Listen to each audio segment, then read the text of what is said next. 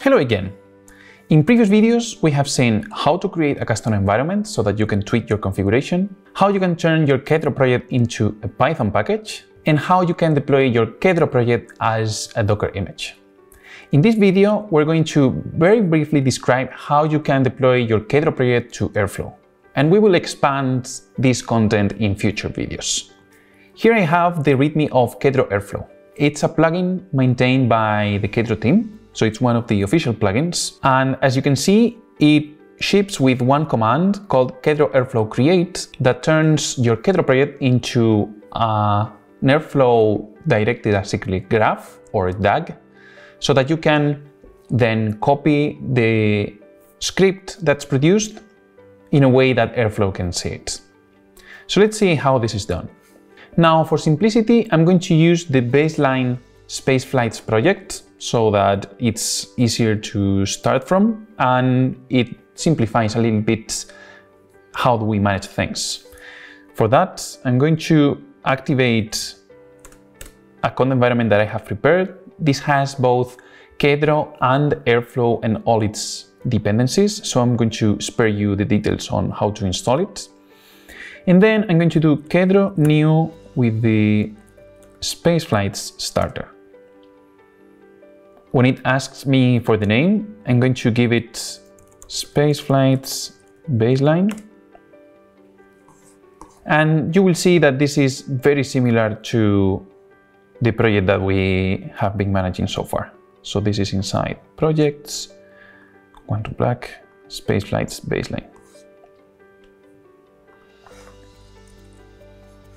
There we go. So I'm going to activate my environment again. And the first thing I'm going to do is I'm going to create a catalog specifically for Airflow. This is not mandatory, but it can help me in the future in case I need to tweak some of the parameters of the datasets. For that, I'm going to create a new environment here called Airflow. We'll create a catalog.yml.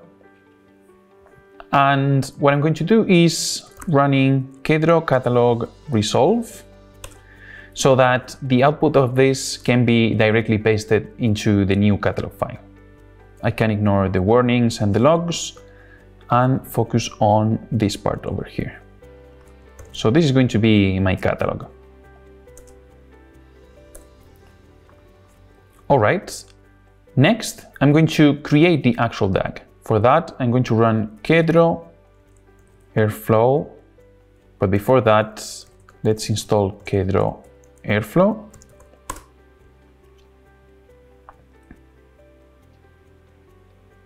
There we go. And now I can do Kedro Airflow create. The target directory is going to be Airflow DAGs by default, but I can change it. So I can say that the output directory is going to be DAGs and I will select the Airflow environment. So minus minus env airflow. As you can see, this is going to create a new directory, DAGs, that contains the actual script. Very briefly, this introduces an Airflow operator called Kedro operator, which is going to drive our Kedro pipeline inside Airflow. Now, the last thing I need to do is to copy my DAG scripts into my Airflow directory, Airflow DAGs. And after a few seconds, I will be able to see this DAG into my Airflow user interface. And here I have my Airflow interface. This is an Airflow server running locally on my laptop. So if I look here for Spaceflight baseline, I'm going to see that the DAG was already imported, that I can see it as a graph in fact, you see here the pre-processing task, the create model task, split data, train model, and so on. And I would be able to run this DAG directly from Airflow, see the execution status of each of the tasks, and do many more things.